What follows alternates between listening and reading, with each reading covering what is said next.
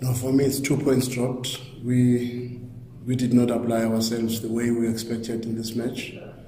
We knew that Kevin would be very stubborn, and we knew the shape they are going to play with. We knew he's going to have three centre backs and wing backs, and he will have a five across to try and frustrate us. We, we, we, we did expect that he will kill the space behind the defence, and we needed a little bit more. Our performance was very cautious first half, lacking incision, lacking the dribbles, uh, lacking forcing the, the opponents to face their goals.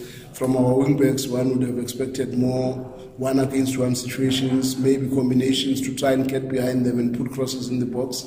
And uh, we did not get that. And that for me was very disappointing because we in a game like this you expect your, your team to put their best foot forward with how uh, disappointed you are with the team's uh, uh performance especially in the final third. I just think we we we, we, we took the the caution side of the game and not wanting to lose possession more than forcing the game, maybe to, to create even more transitions and counter press because at times in football if you if you try to, to force yourself in and you lose possession opponents that want to counter attack they start to open up for you. Then you can counter press immediately and find the openings that you want but when you are safe and they are saying you must play in front of them and your fullbacks are having more than 10 balls back passes, it's, it's, it's, not going to help you. In one against one situations, those were the moments that were that compromised us a little bit more.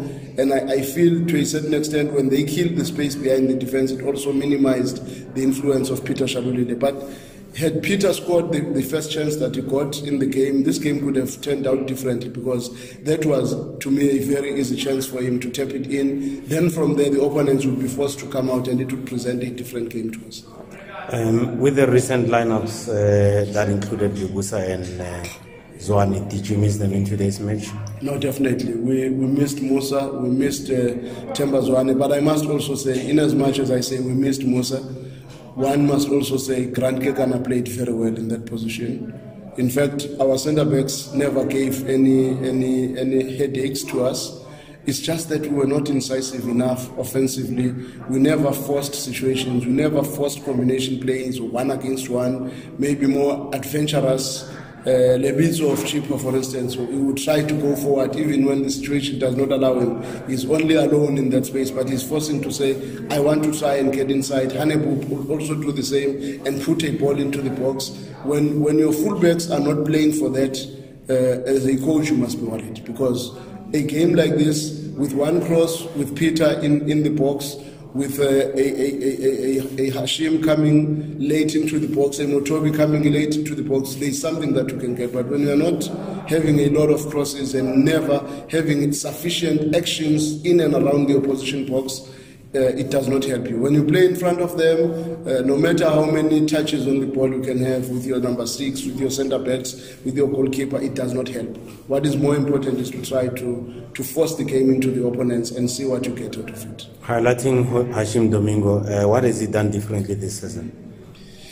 He's a little bit more composed because technically, no doubt, he's, he's, he's, a technically very gifted player, but uh, he still has to, to work a little bit harder in his game uh, to be an offensive midfielder and force situations offensively. Defensively, his counter pressing is good, his passing game is good, but the game of football in a big team needs a little bit more from a number eight. Number eight should score goals. Number eight should have assists like the, the previous match where he played that pass to Peter and he got a penalty from it. You need a lot of such actions so that he can build his confidence and start to talk the, with the numbers of how many chances I created, how many goals I scored, how many shots at goals have I, t- have I taken, how many box entries. Those are the numbers that uh, any offensive midfielder should, should worry himself about. And that is an area of his game that has still has to improve a little bit, but he's a very good player. We are confident he's still going to come up.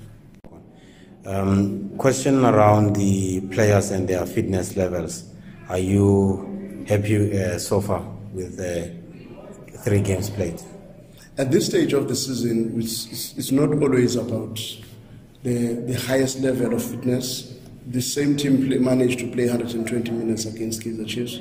So you would not say the performance today probably is because of fitness levels. I, I think the condition of the players is, is okay, but it, it can still improve. Yes, obviously there might be other teams that are looking very sharp now that are already at the highest gear.